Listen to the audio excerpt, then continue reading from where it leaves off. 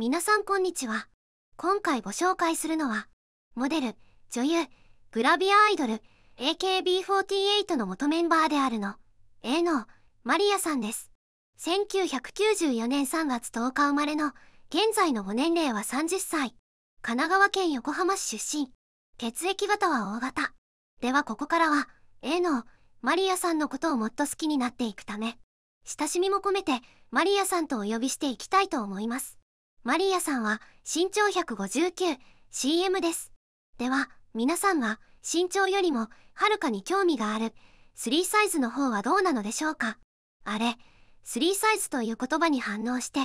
皆さんの股間にぶら下がっているブツがピクピクと反応しているのがパンツの上からでもはっきりわかります。てか、何も、ズボンを下ろしているんですか？全く、マリアさんを見ながら、エッチな妄想を膨らませて、勝手に出すもの出して、すっきりするのはもう少しだけ待ってもらえないでしょうか。これからマリアさんのことを紹介していくので、お胸の先からお尻の奥深くまでと、マリアさんのことを隅々まで知ってもらった上で、エッチな妄想を膨らませてもらえると幸いです。その方があなたのティンティンも、うんと、喜ぶと思います。3サイズの発表は動画の後半で発表しますので、ワクワクしながらお待ちください。では、早速、行ってみたいと思います。2009年9月20日、AKB48 第6回研究生オーディション2合格。2010年12月8日、AKB48 劇場5周年特別記念公演において、正規メンバーへの昇格が発表されます。2011年6月6日、東京ドームシティホールで開催された見逃した君たちへ、AKB48 グループ全公演ひまわり組、僕の太陽、公演において、チーム研究生に留め置かれていた他の正規メンバーと共にチーム4を結成することが発表される。5月から6月にかけて実施された AKB48 27枚目シングル選抜総選挙では39位で NEXT ガールズに選出されます。8月24日 AKB48 in 東京ドーム1830メートルの夢初日公演においてチーム再編に伴うチーム K への移動とチーム4の消滅が発表される。11月1日チーム K に移動。同日に始まったチーム K ウェイティング公演のスターティングメンバーとして新チームでの活動を開始します。2013年5月22日発売のシングル「さよならクロール」でシングル表題曲初の選抜入り。5月から6月にかけて実施された。AKB48 32枚目シングル選抜総選挙では35位で NEXT ガールズに選出されます。7月23日発売の J、J、9月号の S、サイズ、